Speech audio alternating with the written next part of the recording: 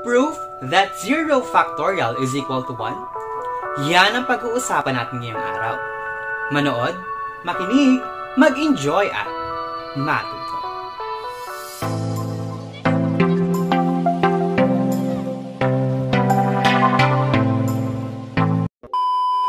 What's up guys? Welcome to my YouTube channel. This is Humor PH. Andito na naman ang pabibo niyong guro na punong-puno ng humor and willing to give humor. Narito ako para tulungan ka, natulungan ng sarili mong matuto sa pamamagitan ng math pinadali, math pinasaya, at math pina-exciting na mathematics lesson. Now, if you find this video helpful, please wag na wag mong kakalimutan na mag-subscribe and i-click ang notification bell para mas marami ka pang videos na mapanood dito sa Humor PH. And please, ikwento mo ito sa mga kaibigan mo, sa classmates mo, teachers, parents, titas, titos who needs this lesson as well. And, ayan, yun lang naman. Without further ado, let's get our discussion. Hi everyone! Welcome sa lesson natin ngayong araw. So for today, pag-uusapan naman natin kung paano nga ba i-prove that 0 factorial ay equal sa 1. Ayan. So this is quite different from what we are having sa mga lessons natin before na merong humor drill. This time, proof lang tayo. Ayan. So ipoprove lang natin na yung 0 factorial talaga ay equal to 1. Ayan. So let's get this lesson started. Ayan. So, let's define muna factorial notation. So, para ma-refresh tayo. So, definition, factorial notation is a shorthand for multiplication of list of consecutive, sunod-sunod, descending, pababa, natural counting numbers. So, yung counting numbers from 1, 2, 3, 4, 5. So, ibig sabihin, yung kapag in-expand natin yung factorial notation, hanggang 1 lang siya. Kasi siya yung pinakamababang counting numbers. And, ito ang representation niya. And factorial is equal to n times the quantity of n minus 1, n minus 2, up to 1. Ayan. Tandaan hanggang 1 lagi ang kapag in-expand yung factorial notation given sa atin. And ito yung kailangan natin i-prove. 0 factorial is equal to 1. So by definition, ayan talaga yon. 0 factorial is equal to 1. Now we're going to uh, prove. Ano nga ba talaga? Bakit nga ba siya naging 1? Ayan. So, let's prove that 0 factorial is equal to 1. Ayan. So, ito daw equal to 1. Now, para ma-prove yan, kakailangan ko yung tulong ng mga to. So, I need the help of 1 factorial, 2 factorial, 3 factorial, 4 factorial, 5 factorial, 6 factorial. So, ayan. So, kailangan ko yan. Kasi we're going to establish a pattern. Titignan natin yung pattern para dumating tayo, para ma-prove natin yung 0 factorial ay 1 naman talaga. Alright. So, let's start by 1. Ayan. Siyempre, mamaya na yung 0 factorial. Kasi siya yung pinoprove natin. 1 factorial is equal to 1. Of course, ganun lang yan. Kasi wala naman yung multiply na iba. Siya naman kasi yung pinakadulong uh, counting number. Now, for 2 factorial, magiging siyang 2 times 1. Tama? Si 3 factorial kapag in-expand, although napakaraming ways to expand 3 factorial, pero yung, ano lang, yung buo, 3 times 2 times 1. Diba? Last topic kasi we've discussed, ano-ano yung iba't ibang itsura when we expand 3 factorial or yung mga factorials. So, napakadami. And yun, very important na skill yon kasi kailangan nyo yun kapag nag-simplify na ng factorial. Lalo na sa mga lessons niya about permutations and combinations. So, you have to know those things. Next, 4 factorial. Ang 4 factorial starts sa 4 until 1. 4 times 3 times 2 times 1. Ang 5 factorial starts sa 5 until 1. 5 times 4 times 3 times 2 times 1. Ang 6 factorial is equal to this one. 6 times 5 times 4 times 3 times 2 times 1. Ayan. So, kung 6 factorial starts sa 6 hanggang sa 1. Sunod-sunod, consecutive at the same time, descending. Ayan. Siyempre, isusolve natin yan. I-simplify natin lahat. So, ang 1 equal to 1. Lagyan na natin. 2 times 1, that's 2. 3 times 2 times 1, ilan? That's 6. 4 times 3 times 2 times 1, that's 24. 5 times 4 times 3 times 2 times 1, that's 120. 6 times 5 times 4 times 3 times 2 times 1, that's 720. Now, from these answers, 720, 120, 24, 6, 2, and 1. Hahanap tayo ng pattern. Ayan. Hahanap tayo ng pattern and dun sa pattern na yon mapuprove na yung 0 factorial talaga ay equal sa 1. Ayan. So let's have 720 versus 120. We have to ask, paano ko gagawing 120 yung 720? How would one how would 720 be, will become 120? Paano? Ibabalik natin siya pataas hanggang makarating tayo sa 0 factorial. 720 para maging 120. Tama ba to? Pwede ko siyang i-divide sa 6. Ayan. So, napakaraming ways. Pwedeng mag-minus, mag-plus, mag-divide, mag-multiply. Pero I'll choose dividing. Kasi at yung makakatulong sa atin to prove that 0 factorial is equal to 1. Kapag dinivide ko yung 720 sa 6, the answer will be, will be 120. Tama? You may double check. If you have your calculator, pwede mo siyang i-divide. Now, ibabalik ko naman yung 120 sa 24. And for that to happen, kailangan ko siyang i-divide sa 5. If you have your calculator, you may solve that. 120 divide 24, the answer is 5. Now, eh yung 24, paano ko naman siya i-aakyat? Paano naman siya magiging 6? Magiging 6 yung 24 by the division method kapag nag-divide ako ng 4. Tama? So, I guess you're seeing the pattern. Now, yung 6 ibabalik ko sa 2. Paano?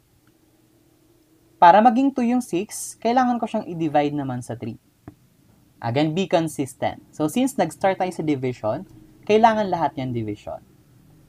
Next, yung 2, paano siya magiging 1? Magiging 1 yung 2 kapag nag-divide ako ng 2 dito sa 2.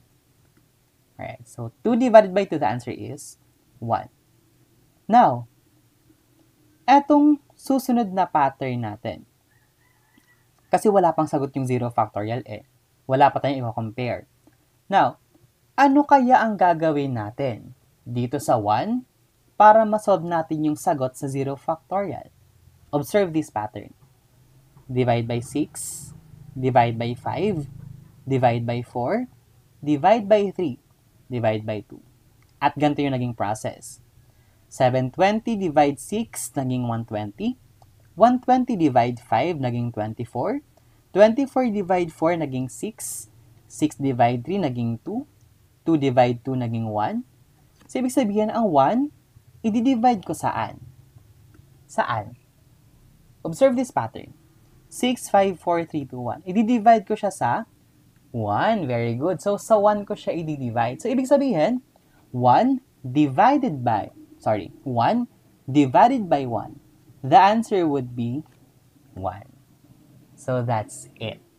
So, yan ang reason kung bakit ang 0 factorial is equal to 1. That's the proof. Why is it that 0 factorial is equal to 1? And, if you are asking, Sir, bakit walang negative factorial? Kasi ang kasunod dito, i-divide ko na siya sa 0. Di ba? 6, 5, 4, 3, 2, 1. So, ang susunod ay ang 1 divide by 0. And lahat ng numbers na over 0, that's undefined. Kapag may fraction na over 0, that's undefined. So, that's not defined in math. So, kaya walang negative factorials. Ayan. Is it clear? Alright. So, ganun po yun. Ulit, Sorry. So, ayan. So, 720 dinivide ko sa 6, naging 120. 120 dinivide ko sa 5, naging 24. 24 dinivide ko sa 4, naging 6. 6 dinivide ko sa 3, naging 2. 2 dinivide ko sa 2, naging 1. 1 dinivide ko sa 1, lumabas yung 1 factorial, or yung 1 as 0 factorial. So, ganun lang po yan. Kaya simple. Ayan. Now, meron pang isang way. We're going to use yung idea natin doon sa rewriting or expanding factorial notation, which is our first topic about factorial, ang introduction about factorial notation. Ito ang gagamitin natin.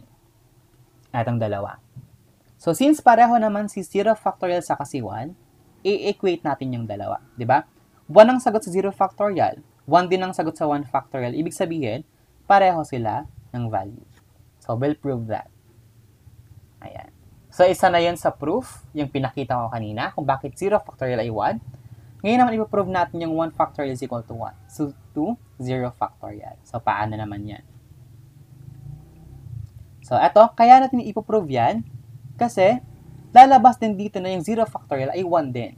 Kasi equal siya sa 1 factorial. Ayan. Now, familiar ba tayo dito sa form na to?